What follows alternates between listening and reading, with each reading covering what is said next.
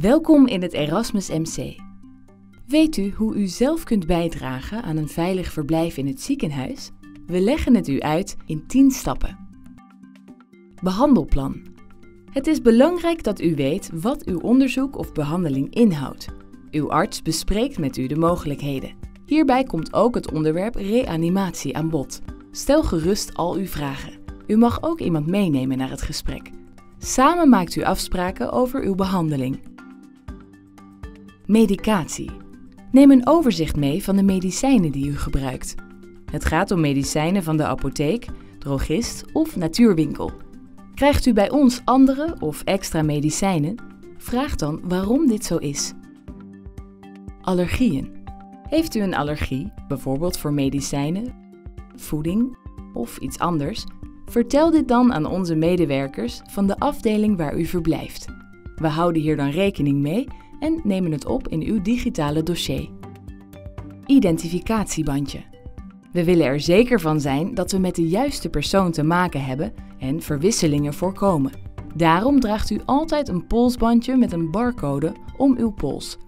Hier zijn uw persoonlijke gegevens opgenomen. Is uw bandje beschadigd of verwijderd voor een onderzoek of operatie? Vraag dan een nieuw bandje. Tijdens uw verblijf vragen wij u regelmatig naar uw naam en geboortedatum, ook al draagt u het bandje. Dit doen we als extra controle. Handhygiëne. Mensen in een ziekenhuis zijn sneller vatbaar voor infecties. Was daarom regelmatig uw handen. Dat doen onze medewerkers ook. Was in elk geval uw handen voor elke maaltijd en na elk toiletbezoek. Maak ook uw bezoek hierop attent. Pijn. Tijdens uw verblijf vragen onze medewerkers regelmatig of u pijn heeft. Samen met u kijken we wat we eraan kunnen doen. Het doel is dat de pijn voor u draaglijk is. Beweging.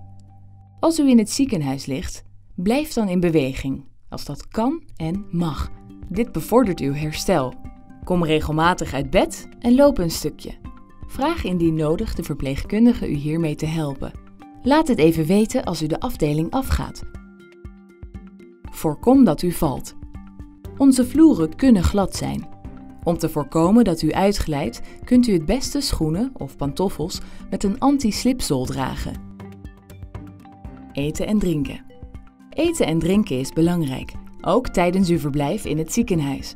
Zorg ervoor dat u, als het kan en mag, voldoende eet en drinkt. Uw vertrek. U mag het ziekenhuis verlaten, maar voordat we echt gedag zeggen, voeren we een afsluitend gesprek met de dokter of verpleegkundige. We noemen dit het ontslaggesprek. Tijdens dit gesprek krijgt u informatie en adviezen. Daarnaast krijgt u het volgende mee: een overzicht van uw medicijnen en eventueel een brief voor uw huisarts of arts in een ander ziekenhuis. Brieven versturen we steeds vaker digitaal. Heeft u opmerkingen of suggesties? Vertel het ons. Volg de 10 stappen en draag zelf bij aan een veilig verblijf. Kijk voor meer informatie op www.erasmusmc.nl/veiligverblijf